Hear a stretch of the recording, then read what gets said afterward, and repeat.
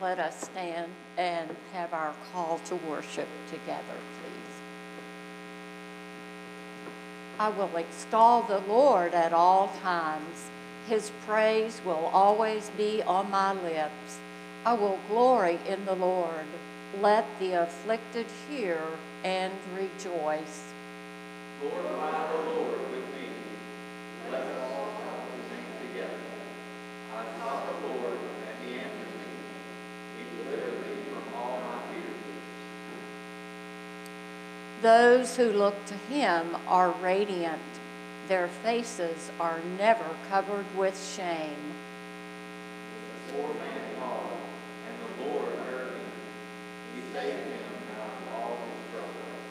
The angel of the Lord encamps around those who fear him, and he delivers them.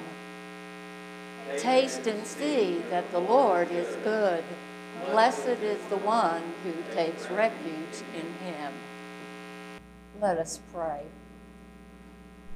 Great and merciful God, clear the clutter of everyday life from our minds, that we might receive your word into our hearts to be lived out in your world.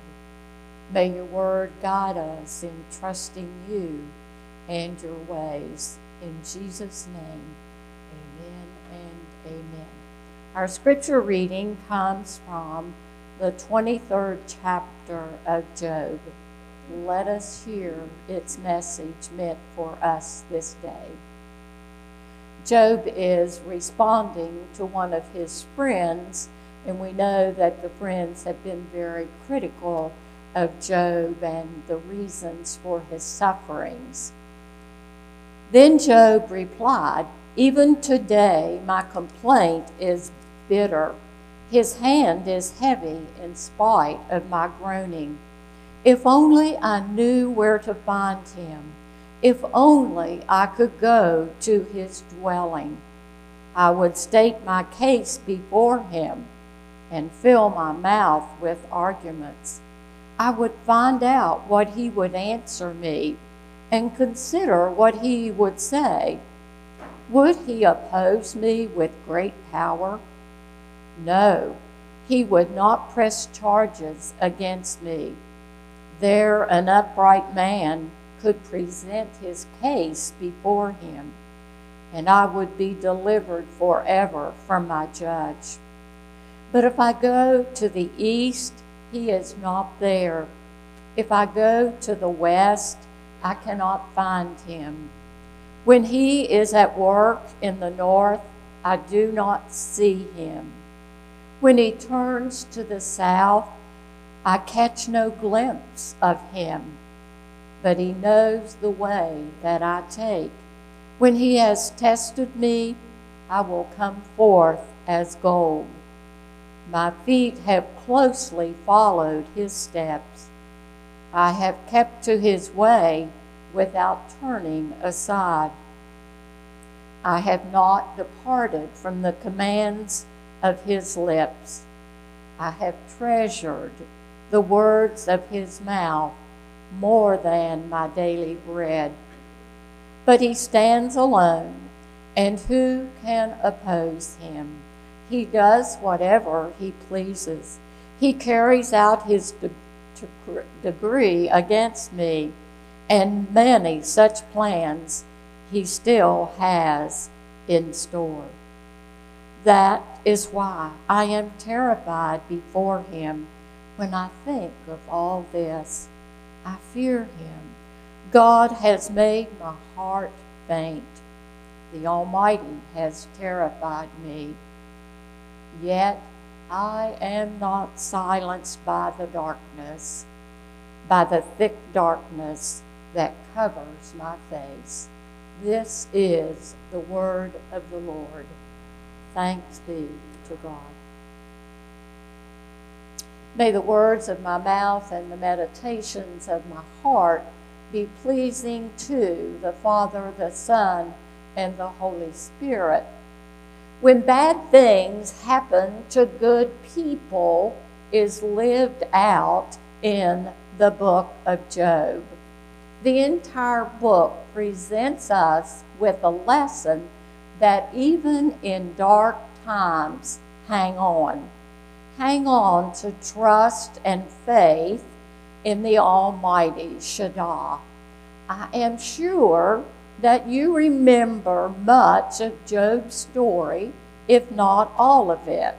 On Sunday, June 20, I was your pulpit guest, and the lectionary text for the Old Testament was from Job. Guess what? Today's Old Testament lesson is from the book of Job. So, we get to take another peek into the life and the happenings of Job. Readers of the book of Job sometimes get lost among the pages of speeches, pain, and suffering.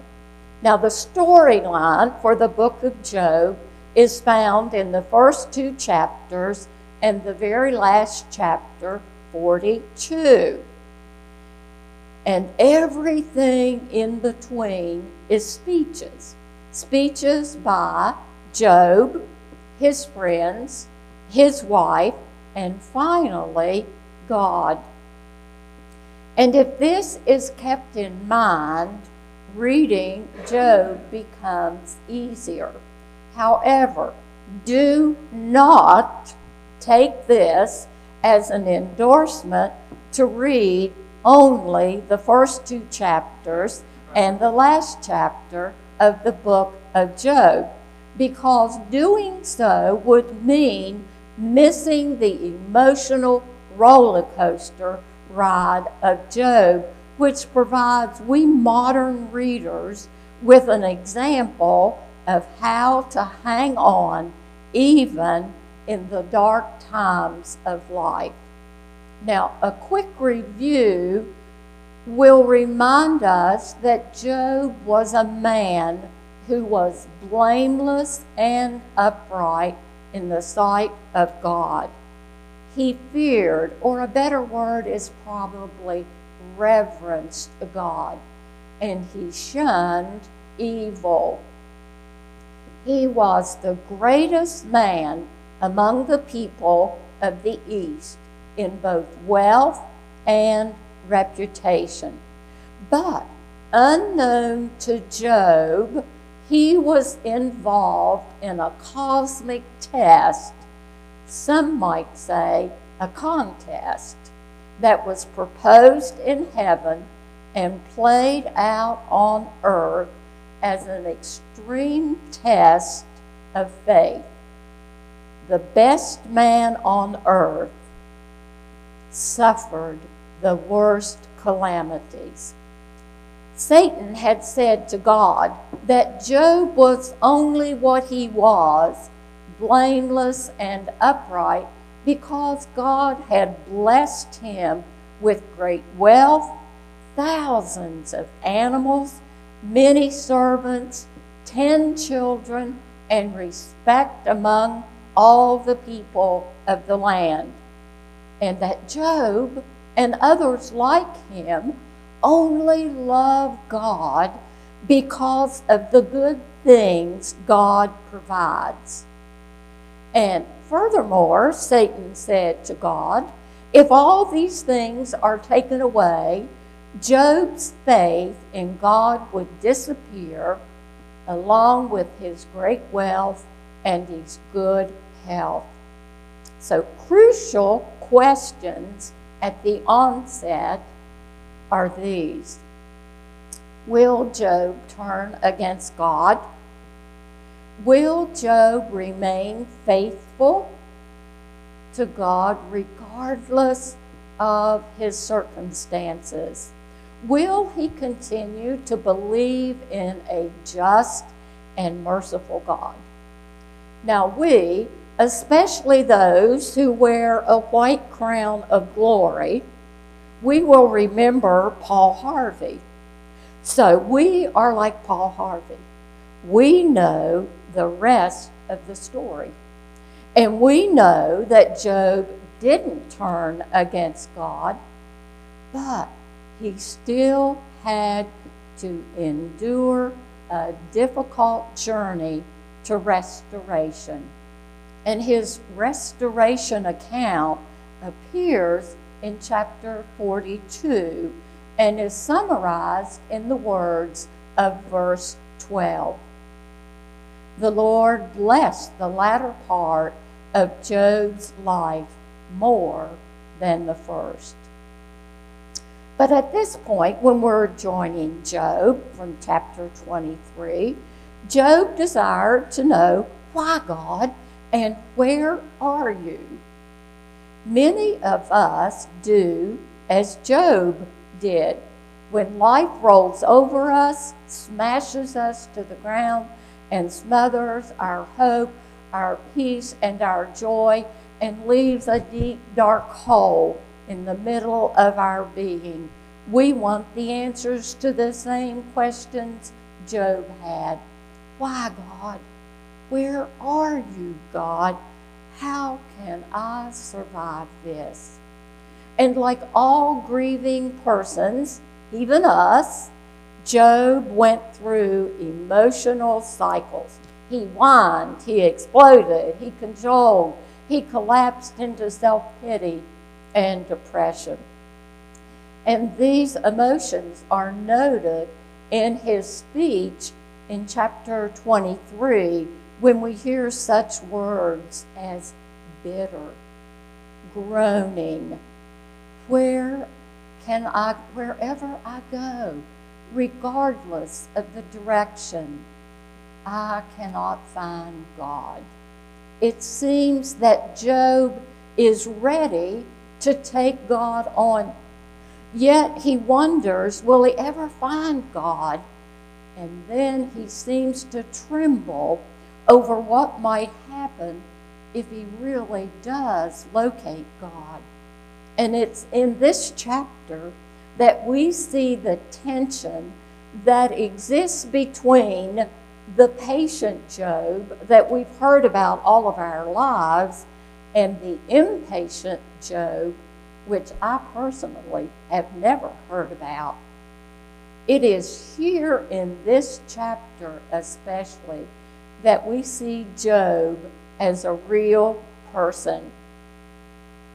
It is here that we realize he is not some kind of plaster saint who suffers without complaint or concerns.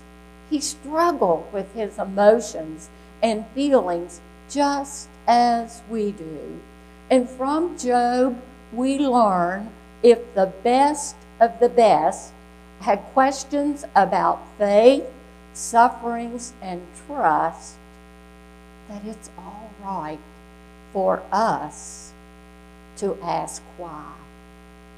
Not as an accusation against God, but for understanding. It is easier to accept situations when we understand the whys.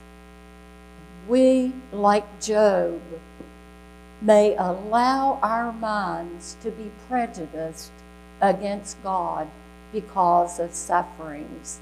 It's during these down times, these emotional trauma times, that the evil one is a subtle tempter who attempts to pull us away from our values, our faith, and even our God. He knows when we are angry, when we are discouraged, and when we have sagging spirits. And He works to unravel all that we hold dear and sacred. And it is during these times we need to anchor ourselves and hang on tighter than ever to our belief and our trust in God. And Job said it this way, and here again, verses 16 and 17 God has made my heart faint. The Almighty has terrified me. Yet I am not silenced by the darkness, by the thick darkness that covers my face. In contemporary words, Job was hanging on. And his life accounts give us an example of hanging on in difficult times. And it is during these difficult times that we need comfort and we need encouragement. Yet Job received neither from his friends or his family. And even though he tends to waffle and weave back and forth, he never gave in to believing he had committed a great sin that had brought chaos in the form of death and destruction upon him. He held on. Now, I remember several years ago in my other life as an elementary teacher of having a very stressful year. Now, that may surprise you. I had two things in my classroom that got me through the day. Well, truth be told, got me through the year. One item was a photo cube on my desk, and instead of photos, I placed the words to the hymn, Because He Lives, I Can Face Tomorrow by Bill and Gloria Gaither. And the second item was a humorous poster on the bulletin board. and the poster showed a terrified cat clinging to a rope that swung in midair with the caption up Hang on, baby, Friday's coming. Sometimes we may feel like that cat, hanging on as life swings us in midair, right? Some of you, and myself as well, are on journeys that take us where we really don't want to go. Perhaps, like Job, there are those who have lost it all wealth, family, and health. Perhaps a loved one has died, or a relationship has broken. There's an empty seat at the dinner table, in the pew beside you, at ball games, at family reunions, and so many other places. And we, like Job, long for release from the anxiety of our loss. We long for a peace that cannot be manufactured.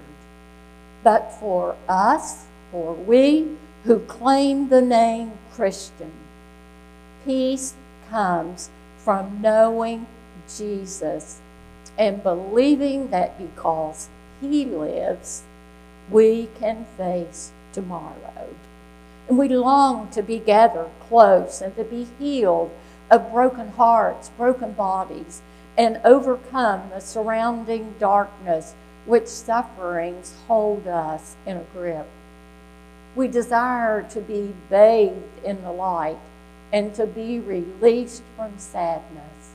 And there's a promise of hope that is uttered by Job in chapter 19, verse 28. And I did share this with you on June 20, and I want to share it again. It is my favorite verse from the book of Job, where he says, I know my Redeemer lives, and that in the end he will stand upon the earth. Job never was trying to hide his despair and anguish, but thanks be to God, his trials and sufferings did not crush his hope. And as the child who is suffering for, from cancer says in the St. Jude commercial, hope means never giving up. And that's where we need to be.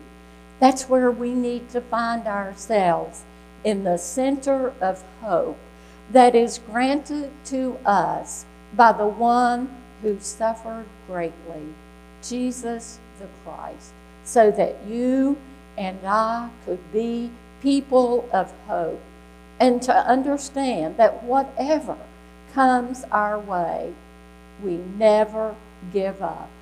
We do not grieve as those without hope, nor do we walk the journeys of life alone. God is with us.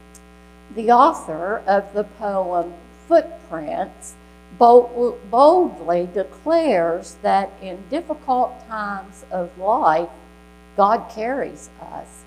He is not absent, as Job thought, nor is he absent when we may think so. Emmanuel, God is with us every step of all our journeys, whether they are good or not so good.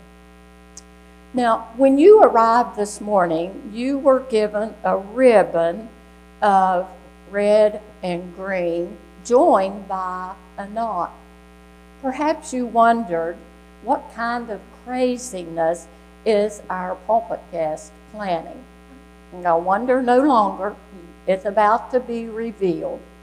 We know that the traditional colors of Christmas are red and green, and you may be thinking, I want to join the department stores and doing a jump start starting Christmas celebrations before Halloween or Thanksgiving this year. But I propose to you that we look at these ribbons a bit differently.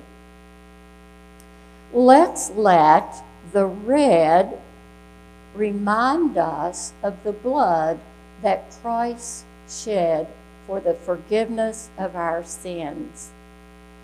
And let us let the green remind us of the promise of eternal life. Now, I invite you to hold the ribbon in one hand and move your fingers from the top of the ribbon toward the bottom. Did you feel the silkiness of the ribbon as you started downward? Then you encountered a knot a bump, which serves to remind us that life is like a ribbon. Everything is wonderful, smooth, and just fine, like it was with Job. Then suddenly, there is a bump in the road, a bend in the road, a detour and life takes a different direction. And most likely, that direction is one we really don't want to go. And perhaps it is even a place that seems to crush the very life out of us. And reactions vary, they're as different as people are. I confess to you that I cry and I pray, beating on the doors of heaven for understanding, for release, and for peace. Sometimes those things come. Sometimes they do not. But the promise of Scripture remains Come unto me, those who are heavy burdened and I will give you rest. The grass withers, flowers fade, but the word of our God stands forever. And believe the good news that comes from the lips of Jesus the Christ himself. In my Father's house are many rooms, most of us would say, or mansions and I go to prepare a place for you that where I am, you may be also. The news is good. Hang on, baby. We have the blessed assurance that Jesus lives, and because he lives, you and I can face tomorrow. Thanks be to God, we never walk alone. In the name of the Father, the Son, and the Holy Spirit, I invite you to join me in prayer. Thank you, Almighty God, for your servant Job and for the lessons of courage, hope, and trust we see in his life. When we are discouraged because of life happenings and sufferings, help us to remember his story and not beat ourselves up when we question or scream or cry out, Where are you, God? Help us to know that it is better to know and trust in you, Almighty God, Shaddai, than to know all the answers. And may we leave this sacred place with hope, peace, and joy restored, knowing that because Jesus lives, we can face tomorrow. And even in the darkness that may surround us, we can hang on to your promises. Amen and amen. And I invite you to stand and join in the singing of our closing hymn, Blessed Assurance. All who are around you stand in need of helping hands or encouraging words or loving care. Be that person who walks with those who are on a difficult journey. Empowered by the Holy Spirit, leave this place to be the only Jesus others may see. This will bring honor to his name and I think put a smile on his face. And the Lord will bless and keep you while we are absent one from the other. Amen and amen.